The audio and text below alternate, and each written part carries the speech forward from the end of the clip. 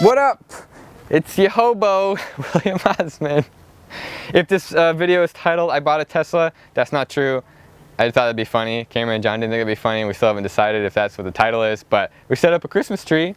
It's been sitting on the top of my car for a week and kind of improvised some of the decorations, some motors. We'll have a tutorial video coming up. this week started off as one of the weirdest weeks of my entire life. Probably the most awful week of my entire life. I don't know many other weeks I've had that have been this, I don't, I don't know how to describe it, but it's, it's like, it's, it's bad.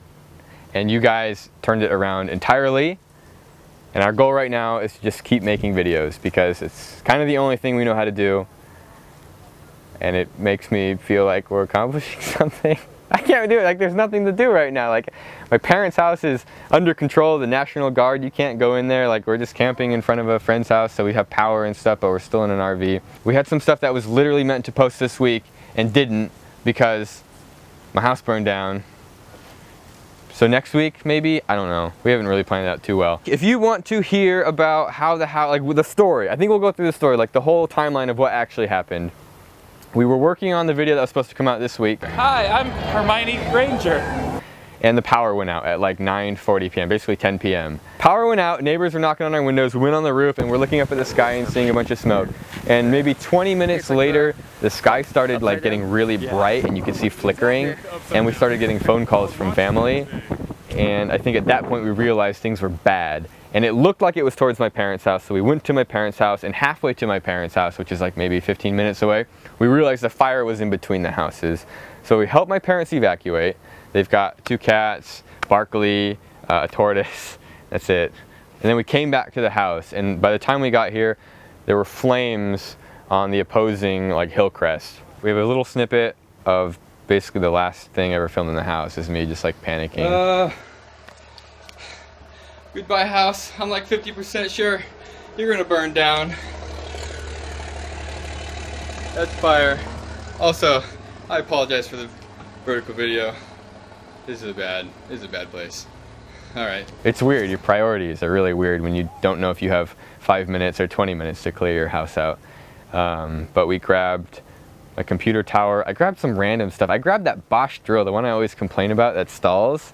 We can, I, we can go through, do we want to go through the stuff I actually grabbed? I have the stroboscope, have my hard drives, computer tower, uh, some USB power packs, USB cables, and that's kind of it. Chelsea grabbed clothes, pictures, stuff you need to, sentimental and stuff you need kind of immediately. And the next morning we drove up at like 6.30 a.m., sunrise is 6.30, and came up and saw the front house was still here, and kept walking up and slowly realized that the garage and the the whole house was basically gone. Like so it burned down sometime like, like I don't know, 3 in the morning, 2 in the morning.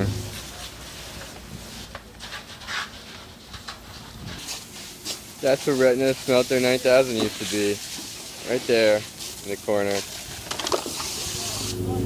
That's it. I don't know. And we, we stayed in a RV for the past couple days in a parking lot. Hey, Bread Cat, what are you doing? And then our friends' houses, the evacuation was lifted, so we parked in front of them. And now we're just, I don't know, we're just doing, we sifted through the rubble. Here, cameraman, I got you a piece of braided hose. This is some scientific device. That is... Oh, it's really hard to see what stuff is when it's complete. It is. Oh, wait. It's some sort of like. Oh! What's this? Oh no, it's the camera gimbal. Oh, really? Wow. Oh, you can see the carbon fiber burnt. Wow. Yeah, it's probably gonna be a lot of What's that? I don't know, it's melted metal. Another uh, Oh, computer power supply, possibly? That I found the evidence for the O.J. Simpson trial. Oh man, that is. I think another. Yeah, I think there's a. he did it, he's guilty. Yeah, this is a necklace from my grandma. And it was like really that is. God, what is that? That Hold is. your. No, I have no idea what this is.